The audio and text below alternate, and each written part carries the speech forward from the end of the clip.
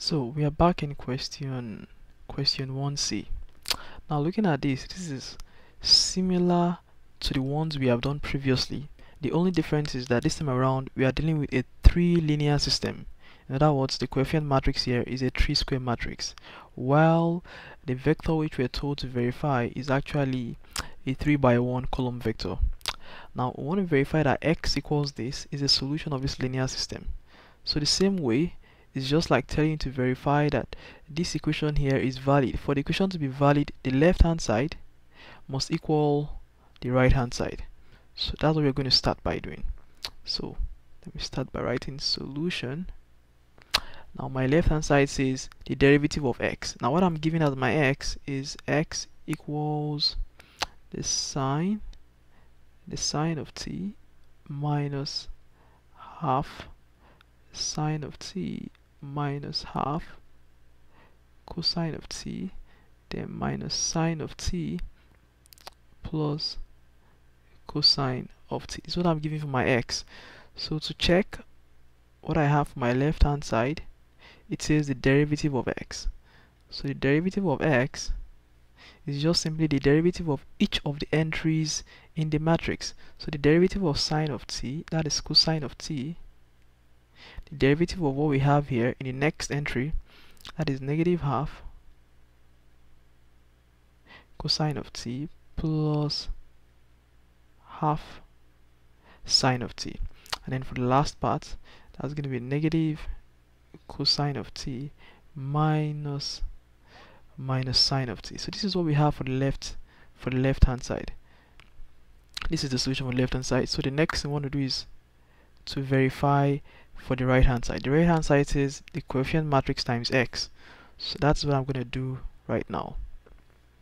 So for the right hand side, which is the coefficient matrix that we're given, and that is 1, 0, 1, 1, 1, 0, negative 2, 0, negative, negative 1 that's exactly what I'm writing. That's 101 110 negative 2 0 negative 1 so that's what I want to verify. And then we multiply that by the solution vector or the proposed solution vector which is sine of t negative half sine of t negative half cosine of t then we have minus sine of t plus cosine of t. So this is all this is what we want to multiply.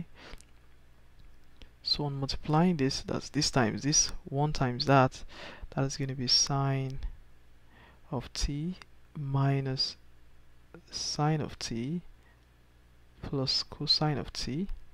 Then this row times this column.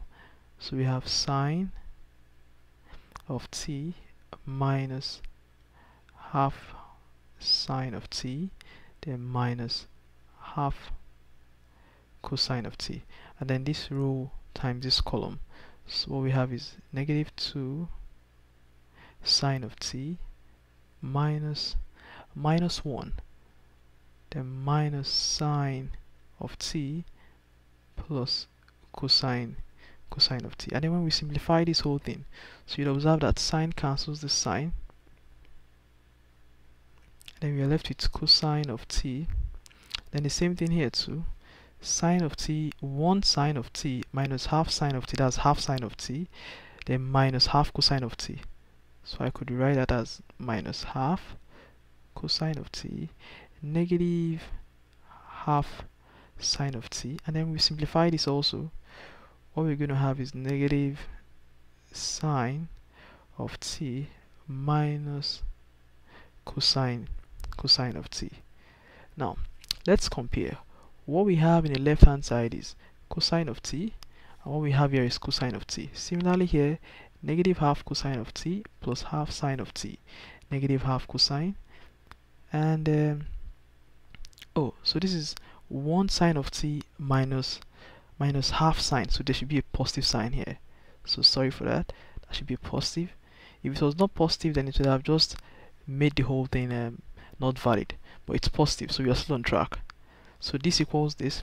Then we have negative cosine minus sine negative cosine minus sine.